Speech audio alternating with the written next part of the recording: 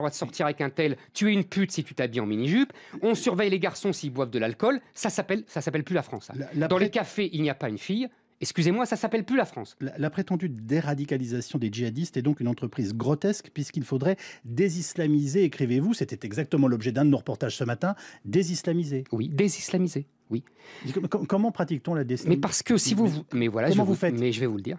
Si, si vous voulez, vous, vous, vous faites une erreur classique en France, et tout à fait normale, que Rémi Brague, vous savez, le, le grand, le grand spécialiste de l'islam, diagnostique très bien. Il dit en France, des catholiques aux plus grands bouffeurs de curés, quand on dit religion, on pense au catholicisme. C'est-à-dire qu'on identifie ça au catholicisme et donc on voit les pratiques du catholicisme, c'est-à-dire le jeûne, la, la prière, vous voyez, etc. Sauf que l'islam, ce n'est pas ça. Ce n'est pas une religion, l'islam. C'est une loi, c'est un droit et c'est une nation. Ce n'est pas une religion. Vous avez envie de nous faire peur et je pense que Mais j'ai pas du tout envie de vous faire peur. je- non, mais je, je vais essayer de donner des exemples. hein. Euh, autant on peut être totalement d'accord avec vous quand vous nous dites il est vital de répondre à la guerre de civilisation menée sur notre sol. Alors vous dites par l'islam, moi j'aurais envie de dire par les islamistes ou les extrémistes, voire les terroristes. Non, Mais vous, venez de répondre à ma Ouais, question, j'ai donc je n'y reviens pas. Si demain, il y a, je vous cite toujours, il y avait oui. 20, 30 millions de musulmans français bien décidés à voiler leurs femmes et à appliquer les lois de la charia, on ne pourrait préserver les règles minimales de la laïcité que par la dictature. Mais Bah oui. Excusez-moi, cette projection dans l'avenir, elle, elle est euh, inconséquente, elle Ah, ah, n'existe ah, pas. mais je vais vous dire, eh, je vais vous dire, c'est déjà le cas.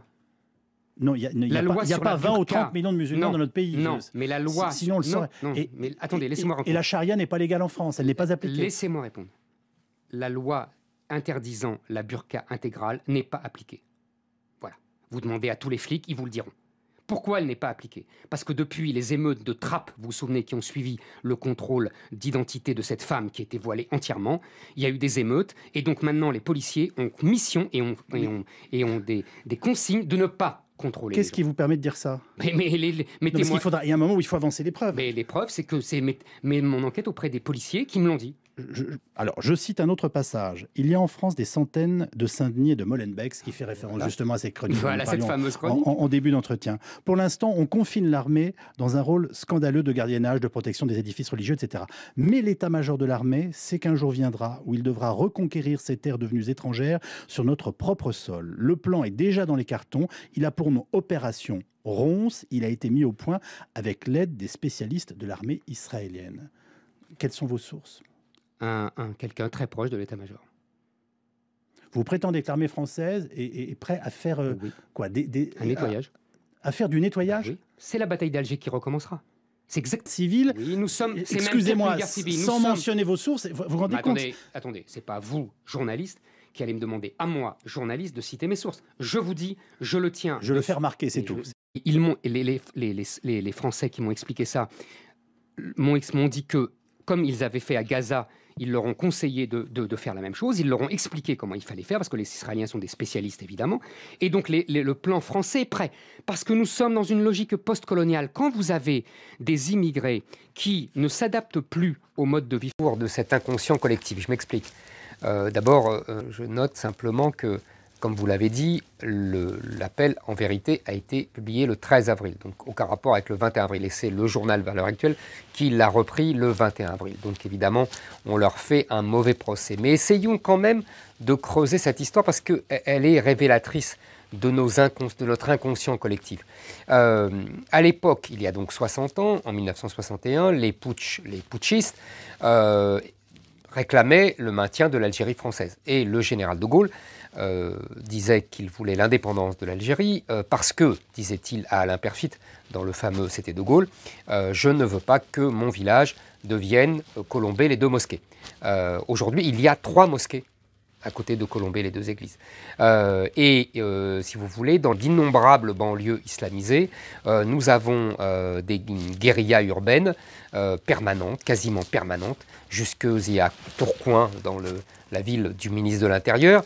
Donc c'est pour vous dire qu'il y a une certaine réminiscence de toute cette histoire. Et quand les généraux à la retraite d'aujourd'hui, encore une formule euh, très 1961, puisque euh, tout le monde se souvient de la fameuse apostrophe du général de Gaulle euh, qui moquait ces généraux à la retraite qui, hélas, hélas, hélas, se révoltaient contre lui. Mais trêve d'histoire, aujourd'hui, quand évidemment ces généraux à la retraite appellent leurs camarades d'active à protéger les Français et la civilisation française, quand ils dénoncent des hordes fanatiques, quand ils dénoncent l'antiracisme qui est devenu indigénisme et haine de la France, franchement, qui peut leur donner tort? Qui peut nier leur patriotisme sincère et leur légitime inquiétude? Aussitôt la publication de cette tribune, euh, Marine Le Pen a tendu la main, ouvert les bras à ses généraux, tandis que euh, Jean-Luc Mélenchon, à, gauche, a réclamé euh, des sanctions. Florence Parly, la ministre des Armées, promet d'y réfléchir. Vous dites que cette polémique politique n'est pas à la hauteur de l'enjeu. Pourquoi? Il y, a, deux choses. Mélenchon, lui, qui connaît l'histoire de France, contrairement aux autres, euh, veut ranimer la vieille lutte antifasciste euh, et anti-putschiste et anti-généraux euh, qui date du 19e siècle, hein, anti-badingué. Vous savez, le surnom donné à Napoléon III qu'on a redonné au général de Gaulle en 58.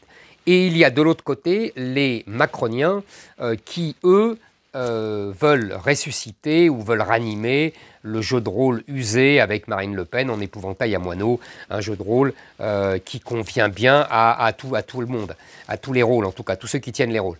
Donc euh, voilà, c'est pour ça que je dis c'est pas à la hauteur. Vous savez, euh, la vérité, c'est que c'est ce que je vous disais au début, c'est que nous avons une guérilla qui prend de l'ampleur, qui, se répand dans d'innombrables banlieues françaises, qui nous ramène à un État que je dirais hobbesien. Vous savez, vous vous souvenez de la fameuse formule de Hobbes avant l'État. Euh, avant euh, l'État, c'était la guerre de tous contre tous.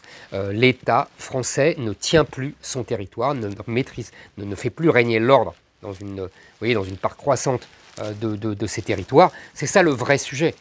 Tout le reste, c'est politique aérie.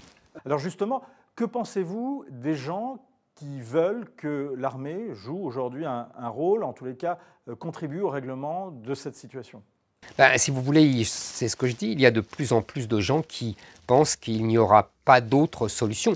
On sait que l'armée, pour l'instant, euh, ne le souhaite pas, ne le désire pas, le pouvoir politique non plus. Personne ne peut le désirer car ça prendrait des proportions euh, inédites. et qu'en plus,